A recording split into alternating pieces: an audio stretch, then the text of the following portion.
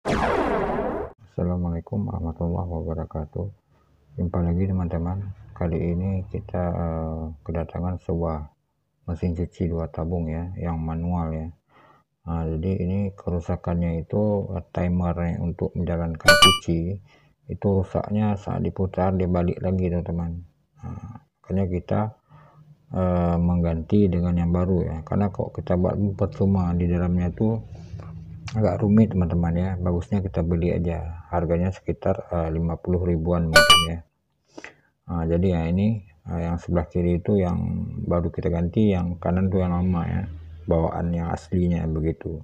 Nah di sini terjadi perbedaan kabel teman-teman ya. Tapi uh, nampak ada pemisah ya. Yang paling kanan tuh ada dua dan paling kiri ada empat kabel teman-teman ya. Nah ini yang baru nah ini teman-teman kebetulan sudah saya pasang ya untuk menghemat atau uh, mempersingkat video ya. Nah, jadi nah, di sini saya akan urutkan ya ke mana nanti sambungnya ya. Supaya teman-teman nanti jika ingin mengganti sendiri jadi lebih lebih mudah saja ya. Jadi tidak uh, takut salah pasang. Nah jadi teman-teman kalau jangan apa jangan susah atau jangan galau jika menemukan eh, kabel-kabel beda warna seperti ini ya. Nah, ini kita urutkan yang kabel yang pertama itu coklat ya yang timer yang baru ya. Nah, coklat itu dia terhubung dengan dengan coklat juga teman-teman ya. Dengan coklat uh, dia langsung menuju ke bawah ya nah, itu dia biasanya dia langsung ke listrik PLN ya yang L nya ya. Nah, kemudian yang kedua warnanya abu-abu ya. Warna abu-abu nah, kita telusuri dia langsung tersambung dengan hijau teman-teman ya dia masuk ke sini ya itu saklar uh, untuk uh, buang air buang air yang, yang di, dalam kemudian untuk uh, tombol pencucian uh, apa berat dan ringan ya. Kemudian kabel yang ketiga ya, itu kuning yang dari timer yang baru. Kita sambungkan dengan um, yang warna oranye teman-teman ya. Oranye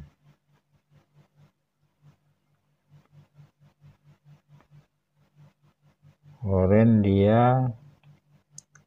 sepertinya uh, juga menuju ke bawah ya. Ini kabel oranye biasanya untuk um, untuk putaran ya. Karena kalau mesin sini kan dia putar ke kiri dan putar ke kanan teman-teman ya. Salah satunya dia di kabel oranye. Kemudian selanjutnya kabel merah dari timer yang baru kita beli. Dia terhubung langsung dengan kabel kuning ya. Kabel kuning ini bekas potongan timer yang bawaan yang sudah kita potong ya. Jadi kan tersisakan kabel yang sudah putus-putus begitu ya. Ini kita sambung. Nah inilah yang satu lagi yang fungsinya itu untuk putaran ya. Jika yang tadinya itu ke kanan dan yang ini itu ke kiri dia. Caranya dia menuju ke bawah teman-teman. Nah, menuju ke dinamonya ya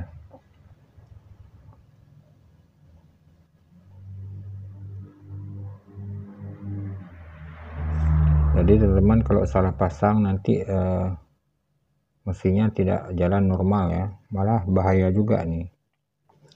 Kemudian dari timer baru ada warna coklat juga ya.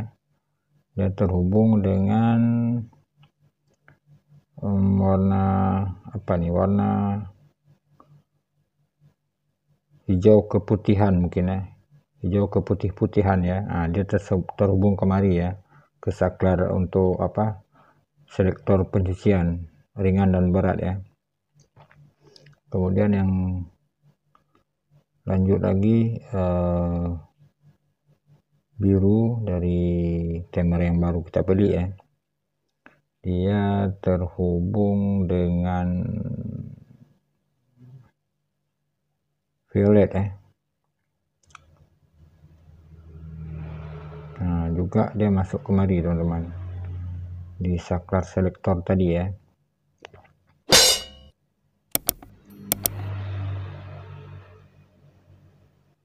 Nah ini bekas yang udah kita potong karena kita bawa untuk mencocokkan di toko ya.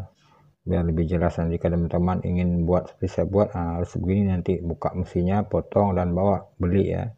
Biar lebih pas ya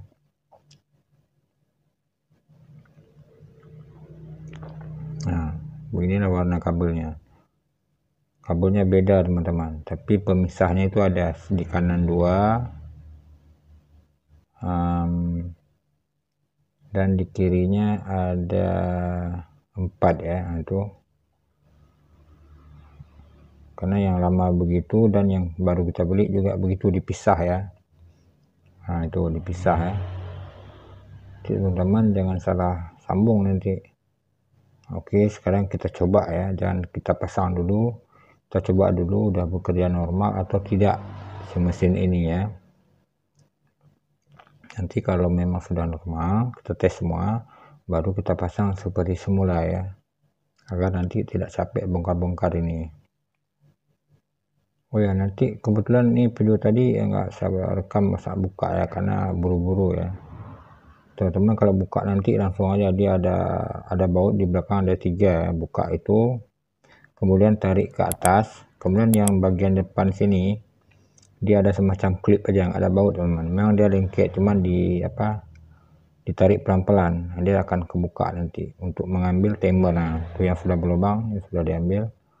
Jadi nanti teman-teman potong aja langsung bawa ke toko tempat pembelian ya supaya lebih mudah ya. Ini kita coba tes dulu mudah-mudahan uh, dia normal ya. Nah, ini agak susah dikit nih karena kan saya nggak ada kawan jadi saya pegang HP sembari saya putar ini untuk kasih onnya ya. Ini pencucian teman-teman ya. Nah sudah saya putar.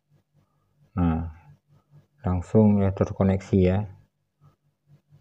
Putar satu. Nah ini kebalikannya ini di selektor normal teman-teman ya. Bukan yang berat ya di yang normalnya. Kita coba lihat dulu ada kendala atau tidak.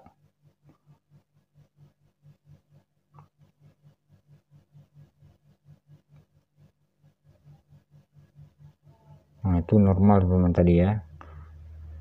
Nah ini sudah saya sudah saya mati ya sekarang kita coba di yang berat ya. Nah, kita putar. Nah itu yang di yang beratnya ya. Karena di yang berat ini putarannya lebih lama ketimbang yang tadi ya. Nah, ini kita kasih hidup sucinya.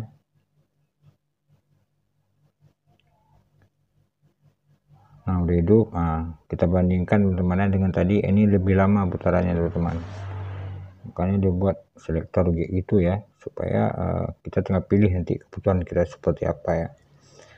Nah, dia tetap sama seperti tadi ya putar kiri dan putar ke kanan. Begitu terus menerus teman-teman ya. Itu normalnya putaran mesin cuci ya.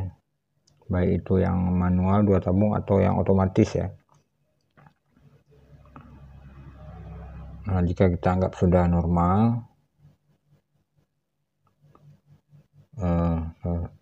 lalu kita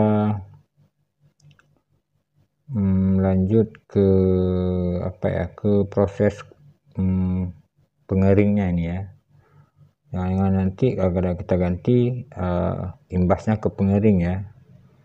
Moga-moga aja nggak ada masalah di pengering jadi pengiringnya itu uh, berfungsi secara normal ya tidak ada kendala apa pun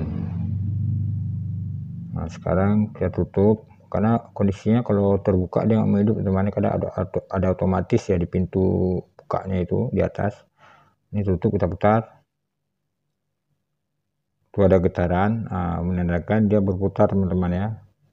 Karena uh, teman-teman nggak bisa lihat karena kalau kita buka dia langsung mati. Nah, saya sudah tes itu udah berfungsi ya